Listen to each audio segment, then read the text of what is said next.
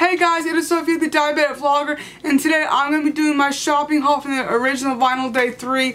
I went to this about two weekends ago, and as you guys know, I talked about going. I wasn't sure if I was going to go. I'm so glad I did. It was really fun. I got to talk to people, see a lot of cool merchandise, and the main reason I went was to see the Iron Maiden stuff, which was amazing. They had way too much stuff, and I could have bought a lot more, but I didn't because the stuff was so pricey, and I just wanted to go because I wanted to get other Iron Maiden LPs of the collection so I can have the whole collection to add to my vinyl collection.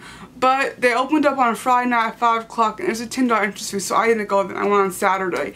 And I'm still glad I went. I also could have gone a day before but stuff would have been more pricey. The two LPs I was looking at was um, The Final Frontier, which is one of Iron Maiden's newest albums that came out in 2010, and it's one of my favorite albums, and I really wanted to get it. It's on sale for $25, and you can get it like new online for like $20, $22. I was like, I don't want to especially since it's used. Number two, there's the etching on it, and the man who worked at the table said he owned this one. It sounded good, but it didn't sound great. And for me, the vinyl's all about that. I didn't want to do it. The other one was um was somewhere in time and I really loved it. It was $75 and it was a really nice collector's edition. It had Japanese and stuff over it as well, but of course you didn't know if it was played or if it used, and it probably was.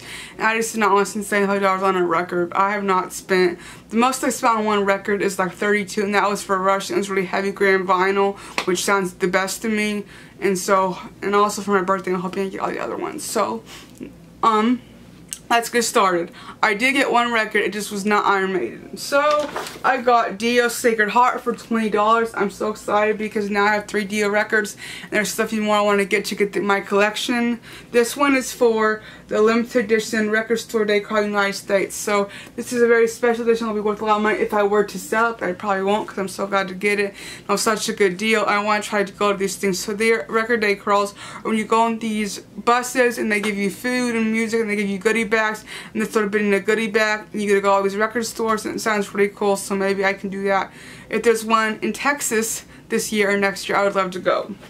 So and then since I did not get a, a record I love taking I like tapes and records as you guys know. And so I got Fear the Dark the Iron Maiden tape for seven dollars. And it sounds so great. I love this album and I liked it even more since I got this tape. Listened to it a lot. I thought my tape player was having problems just I gotta get used to using it more often. So maybe I will get a, an original record tape player I mean but they're so expensive. They're hundreds of dollars I don't really want to waste that but maybe I will like at the end of school and then I also got this cute little Iron Maiden necklace, which was $10. And it has this nice little clasp, and it kind of fell apart. And it just fell apart now. So you gotta be careful because it's kind of, it's kind of flimsy. But it's got this nice leather thing, so it's my style. I was like, I don't have an Iron Maiden shirt, and I want to get one for the concert. I probably was going to. I was like, I need something now. And so I was cute little Iron Maiden necklace. It says Iron Maiden. Now, be with there, if you buy anything Iron Maiden, you get a free Iron Maiden gift or thing. So I got this really cool poster, which I, I don't have any room to hang up in my room right now. It was from Brave New World 2, which is my other favorite Iron Maiden album. And it's got a picture of Bruce with his cyclo shirt and his camel pants, his boots, and Eddie, of course. And on the back, there's a picture of all of them. So I overall, I had a really great time. I got some really cool stuff. I could have got some, there's a lot of jewelry I wanted to buy, but I was like, it's used. I don't know about this. And I didn't want to break because with jewelry, you got to be so careful. So I hope you guys like to like this video. Please leave your comments down below about what you like, where you guys like to get your cool music stuff about record store prices and special deals.